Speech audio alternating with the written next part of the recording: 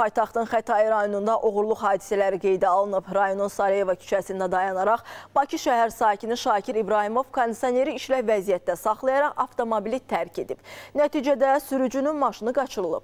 Polis əməkdaşları ünvandan tam uzaqlaşmamış həmin şəxsi saxlayaraq istintaqa cəlb edib. Xətai rayonunda polis əməkdaşlarının keçirdiyi daha bir əməliyyat nəticəsində isə evlərdən birinə açıq qalmış pəncərədən daxil olaraq mənzil sahibinə qarşı soyğunçuluq edən İsa Nəsirov saxlanılıb. O hadisə zamanı zərər çəkənin pulunu və bank kartını ələ keçirib. Hər iki faktla bağlı araşdırmalar davam etdirilir.